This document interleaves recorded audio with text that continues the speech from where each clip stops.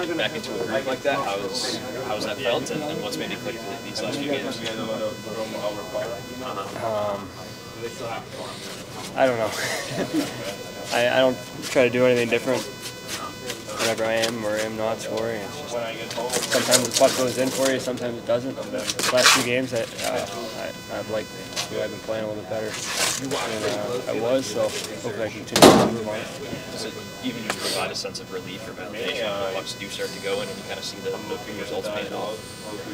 I don't know about relief. Uh, I think winning is the most important thing we're all here for, and um, as long as we continue to win and, and be a team that can go deep in the playoffs, I think that's all that we're, we're focused on. How much, in in a strange way, because you- you're short, like, the guys know you gotta get back, you gotta play more defensive minded, how much does that play into, it?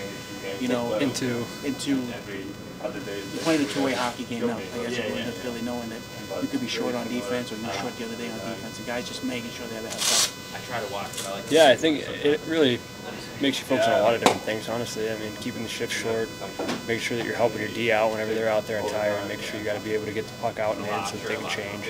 Um, and obviously, keeping the puck out of your net whenever you're shorthanded is key. So you definitely have to focus on the defensive side of the puck a little bit more. Was that, how strange a situation was that, you know, just before D out there? Um, I mean, I didn't have to worry about it because I'm not playing D, but I'm sure it was difficult for those guys playing 30 minutes. Thank you.